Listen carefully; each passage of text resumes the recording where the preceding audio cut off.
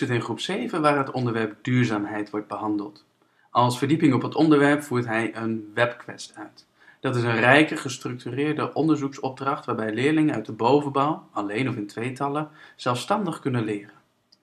Een webquest is aanzienlijk moeilijker dan een webwandeling, omdat bij een webquest leerlingen allerlei gevonden informatie zelf moeten verwerken tot een nieuw eindproduct. Een webquest is altijd een website en heeft een vaste structuur van zeven pagina's. Op de eerste pagina, de inleiding, wordt het probleem geschetst, wat de leerling moet gaan oplossen.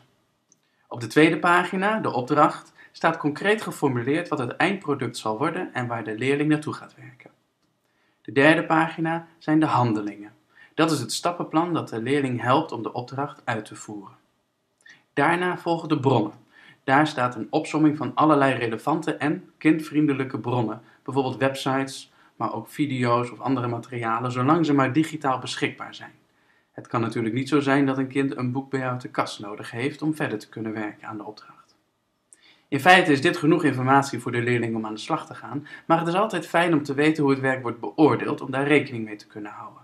Vandaar dat op pagina 5 er een beoordelingsmatrix aanwezig is. Daarin staat precies aangegeven hoeveel punten er voor de opdrachten worden gegeven.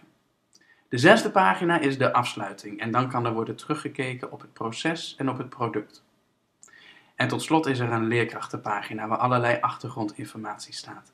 Bijvoorbeeld de tijdsduur, de doelgroep, maar ook of er nog materialen nodig zijn en welke kerndoelen aansluiten bij de webquest.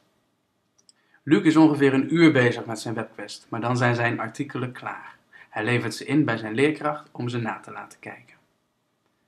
Er zijn op internet al talloze webquests te vinden, bijvoorbeeld via webquestie.nl of webquests.nl. Je moet natuurlijk altijd kritisch een webquest selecteren voordat je deze door jouw leerlingen laat maken. Je kunt ook zelf je eigen webquest maken, bijvoorbeeld in Google Sites of in WordPress. Dat kost meer tijd, maar je krijgt dan wel precies wat je nodig hebt. Thank you.